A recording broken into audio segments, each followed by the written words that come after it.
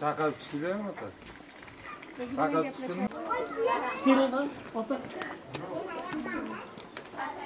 Nechi xonali uy bu? Bu mana shu bir uyda aliz, narigi bir uyda aliz. Mana shu bitta shu ikkovi. Ha? Narigi yana to'g'ri. Ichkariga kirayotgan joyi bormi? Bor edi. Ko'rsatingchi.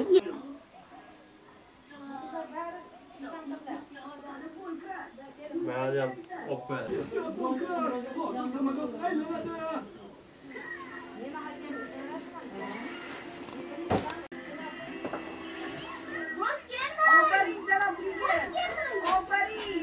deysan yana biri bormi deysan bobo quyosh mehr bergan zar tuprog'i sehr bergan kamiz ne'matlari Olmadi deb qattiq nonlarni kelib yurdi. Qaynataylik qizlar ayamdan havragan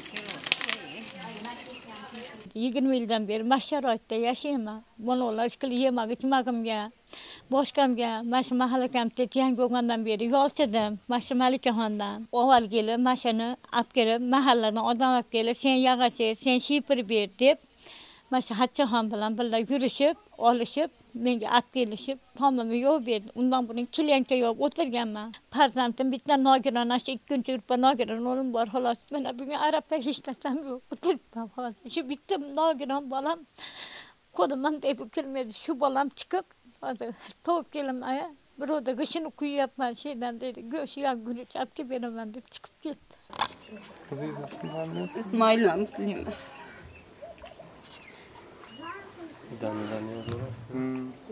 ba'zi ba'zida bo'ladimi ha shu ba'zi ba'zida yurak siqilib qolsa O'sha vazirliklar bor-ku. Sizga kelib tekinda o'sha farzandingiz qani o'sha farzand o'zingizni farzandingiz. Shu kishi? Shuni davolab beradi. Hozir bular viloyat hokimligiga buni ko'rsatamiz. Nasib bo'lsa keladida prezident odamlari kelib buni davolab beradi sizga. Akaga ham yordam qilishadi.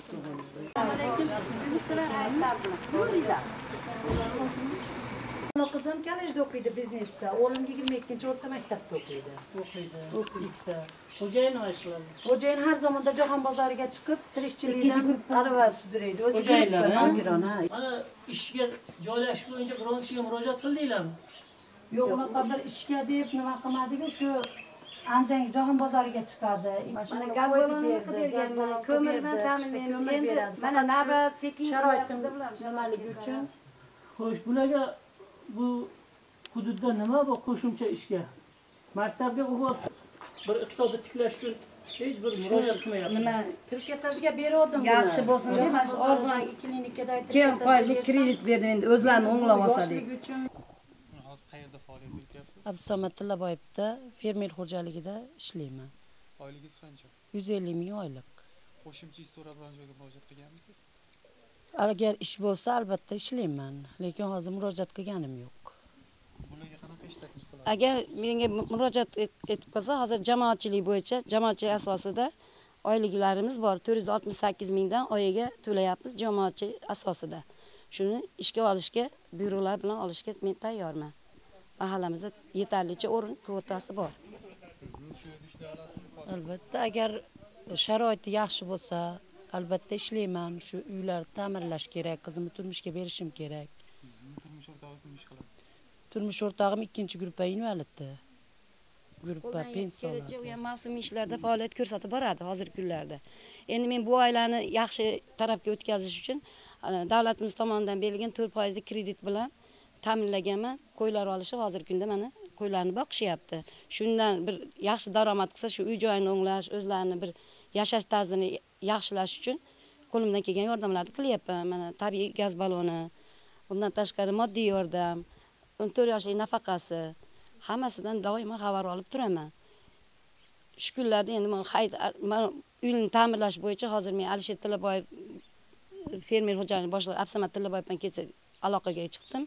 Albatta yordam beraman dedi. Xudo xohlasa ertadan uyga nima kerak bo'lsa ana shu qurilish materiallarini qanaqa ustalar jalb qilib albatta men mustaqillik kunigacha chiroyli qilib bu xonadonni yaxshilar qatoriga o'tkazib harakat qilaman. Qo'limdan keladi. Bular ish bilan ta'minlanadi. Bular ish bilan bugunla hozir pasportini olib chiqsa men byuro daftardan chiqarib e, bandlik ko'maklashishi arizasi bilan murojaatini topshiraman. Aka rahmat. Sog' bo'ling rahmat. Boshqa xudo xohlasa ko'rishamiz a o'tavering aylanib bo'ldi ketdik